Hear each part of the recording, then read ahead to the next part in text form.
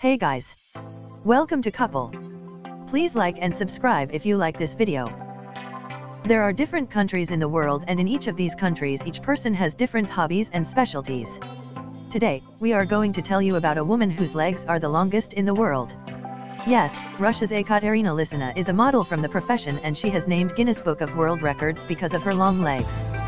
The length of Lysina's right leg is 132.2 centimeters while the length of the by leg is 132.8 centimeters. That is, their legs are more than 4 feet in length.